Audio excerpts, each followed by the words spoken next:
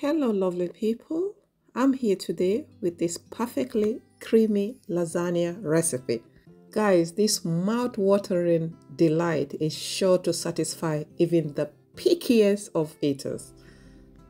Oh yeah, get ready to indulge in layers of ooey gooey cheese. Let's begin. In a light pan, add 500 grams mincemeat. Alternatively, you can add a 3 tablespoon olive oil, heat on low heat or add the vegetables before adding the minced meat. In this process, I'm cooking the meat first. Add some seasoning, uh, all-purpose seasoning, one uh, teaspoon. Let's use a potato masher to break up the meat. After cooking the minced meat for 5 to 6 minutes, add your onions. Cook the onions until it becomes soft with the ginger, three cloves garlic and one teaspoon ginger paste. Let's prepare our lasagna sheet. If you are using oven ready lasagna sheet or fresh lasagna sheet pre-cooking is not necessary However, to fasten the cooking process, I add it in uh, hot water. Ensure you separate the sheets with a fork or add olive oil in the water. Let's go back to our sauce. Add 400 grams uh, chopped tomato plum. Add 1 teaspoon paprika.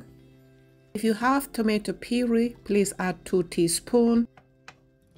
Add 1 teaspoon smoked paprika. If you have bay leaves, add 2 bay leaves. Add 2 small chopped carrots. Add 2 celery sticks, finely chopped.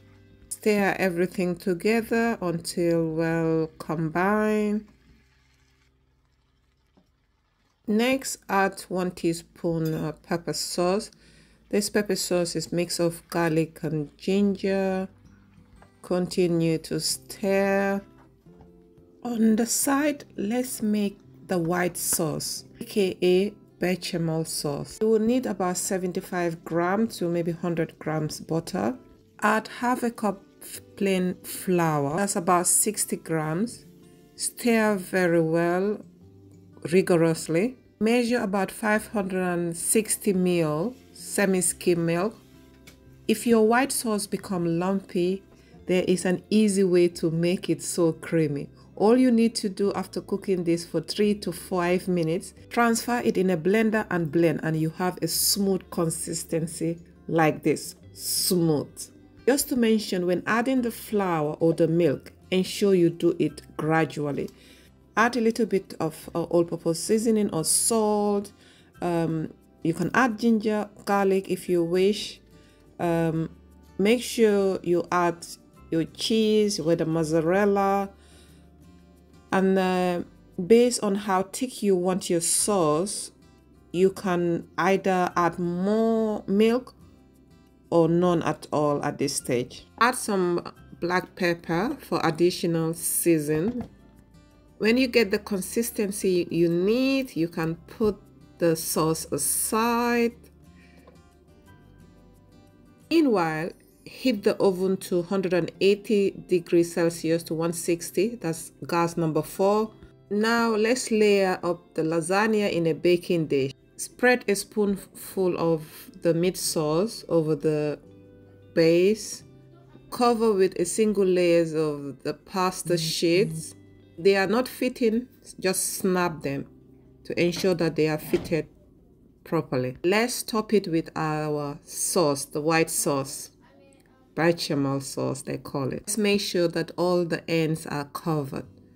Next, add a spoon over a third of the meat sauce. Repeat the process uh, until you get all the layers. So you will continue to do this. The last stage would be to top it with a parmesan or mozzarella cheese. If you have both, you can combine them.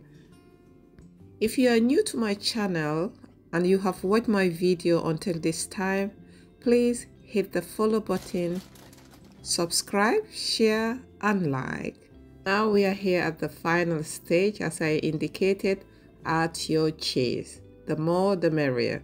Let's transfer our lasagna in the oven bake for about 40 to 45 uh, minutes until piping you know they say piping hot hot or crisp and bubbling on the top.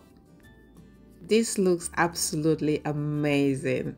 You know when you do such a fabulous job and you are so amazed and proud that's how i felt time to serve the lasagna.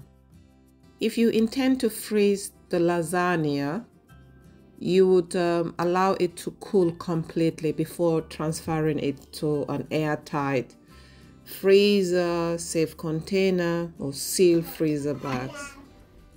I have enjoyed making this recipe. If you have enjoyed watching it and wish to try it, or if you have tried it, do not forget to leave your comment below.